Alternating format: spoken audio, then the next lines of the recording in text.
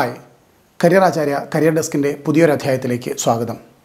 പത്താം ക്ലാസ് വിജയിച്ചവർക്ക് രണ്ട് വർഷ പഠനം കൊണ്ട് സർക്കാർ തലത്തിലടക്കം ഉയർന്ന ജോലികളിലേക്ക് സാധ്യതയുള്ള ഒരു നല്ല കോഴ്സ് പരിചയപ്പെടുത്തുകയാണ് ഈ വീഡിയോയിലൂടെ.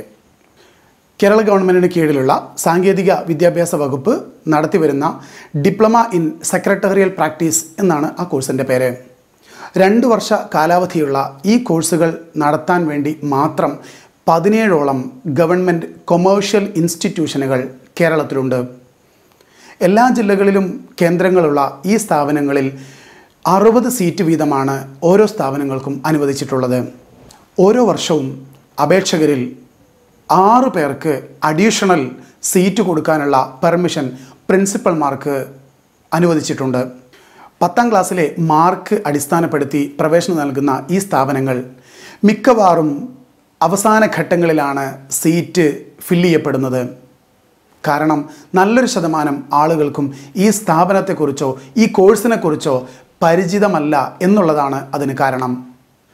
പത്താം ക്ലാസ് കഴിഞ്ഞ് രണ്ട് വർഷം കൊണ്ട് ജോലിയിലേക്ക് എത്തണം എന്നാഗ്രഹിക്കുന്ന ആളുകൾക്ക് നല്ല ഒരു ഓപ്ഷനായിട്ടാണ് ഈ കോഴ്സിനെ പരിചയപ്പെടുത്താനുള്ളത്. സർക്കാർ തലത്തിൽ കോൺഫിഡൻഷ്യൽ അസിസ്റ്റന്റ് പോലുള്ള പദവികളിലേക്ക് പരിഗണിക്കുന്നത് സെക്രട്ടേറിയൽ പ്രാക്ടീസ് എന്ന് പറയുന്ന ഈ ഡിപ്ലോമ കോഴ്സാണ് ഒരു ഓഫീസ് സെക്രട്ടറിയായി പ്രാക്ടീസ് ചെയ്യാൻ വേണ്ട എല്ലാ കഴിവുകളും വികസിപ്പിച്ചെടുക്കാൻ ഈ രണ്ട് വർഷത്തെ ഗവൺമെന്റ് കൊമേഴ്ഷ്യൽ ഇൻസ്റ്റിറ്റ്യൂഷനുകളിലെ സെക്രട്ടേറിയൽ പ്രാക്ടീസ് കോഴ്സിന്റെ സിലബസ് കൊണ്ട് സാധ്യമാവും. Communicative English personality development accountancy business studies typewriting shorthand data entry ഇത്തരം കാര്യങ്ങളാണ് ഈ കോഴ്സിൽ പ്രധാനമായും പഠിപ്പിക്കുന്നത്.